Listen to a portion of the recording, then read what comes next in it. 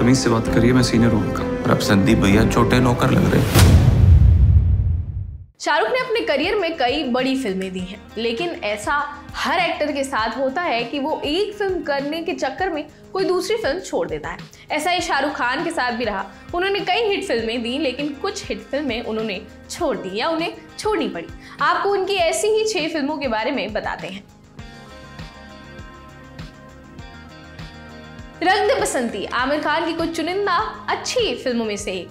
इसमें शाहरुख खान होने वाले थे, लेकिन वो आमिर वाला रोल नहीं करने वाले थे। हालाँकि कई जगहों पर ऐसा भी कहा जाता है कि शाहरुख को आमिर वाला रोल ही ऑफ़र हुआ था। लेकिन जो जानकारी पुख्ता है उसके अनुसार शाहरुख को आर माधवन वाला रोल ऑफ़र हुआ था। उन्होंने मना कर दिया। फ़िल्म में माधवन का कैमियो था। उन्होंने फ़्लाइट लेफ्टिनेंट का रोल किया था। शाहरुख अब राजकुमार हिरानी के साथ डंकी कर रहे हैं, लेकिन इससे पहले भी उन्हें, उनकी एक फ़िल्म थ्री इडियट्स ऑफ़र हुई थी, लेकिन उस वक्त उन्होंने मना कर दिया था। बाद में ये आमिर खान को ऑफ़र हुई और उनके करियर की उस समय की सबसे बड़ी हिट फ़िल्म बन गई। 2008 में जोधा अकबर रिलीज़ हुई थी। इसमें ऋतिक रोशन ने काम किया था। इसे शाहरुख के करियर की सबसे अच्छी फ़िल्मों में से एक बनाने वाले डायरेक्टर आशुतोष गोवारेकर ने डायरेक्ट किया था। इसमें अकबर का रोल पहले शाहरुख खान को ही ऑफ़र हुआ था। उनके मना करने के बाद ही ये फ़िल्म ऋतिक की झोली में जागी बारह नवंबर को सलमान की टाइगर थ्री रिलीज़ होने वाली है। इसमें शाहरुख खान भी हैं, लेकिन पठान के रोल में।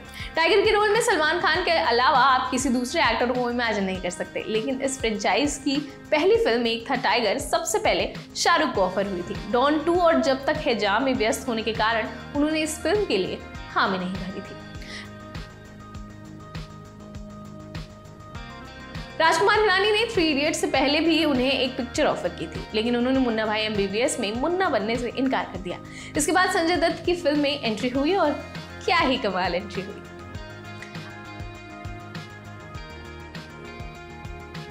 आशुतोष गोवारिकर ने सबसे पहले लगान शाहरुख खान को ही ऑफ़र की थी, लेकिन उन्होंने फ़िल्म के लिए मना कर दिया। इसके बाद आमिर फ़िल्म का हिस्सा बने और लगान ऑस्कर तक चली गई। खैर, आपके लिए सारी इंटरेस्टिंग जानकारी जुटाई थी हमारे साथ ये अनुभव ने। मैं उम्मीद ना, देखती रही ललन टॉप सिनेमा। शुक्रिया। शुरू हो गया है YouTube पर ललन टॉप का नया मेंबरशिप प्रोग्राम एल प्रीमियम क्या होगा इसमें? एल टी प्रीमियम मेंबर्स किसी भी प्लेटफॉर्म से तीन दिन पहले देख सकते हैं guest in the news room और किताब वाला जैसे कई शोज़ ललन टॉप के हम सब एंकर्स हर हफ़्ते आपसे करेंगे लाइव चैट देंगे आपके सवालों के जवाब। ललन टॉप के न्यूज़ रूम में क्या होता है?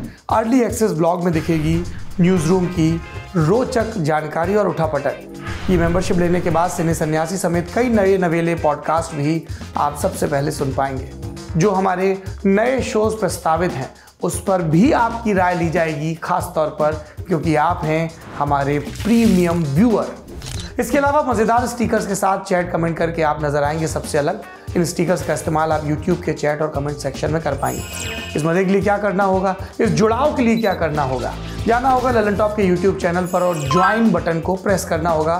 फिर सिर्फ़ उनसठ रुपए महीने में मिलेगा ललन टॉप आनंद। एप्पल यूज़र नीचे दिए लिंक पर क्लिक कर एल प्रीमियम सब्सक्राइब करें।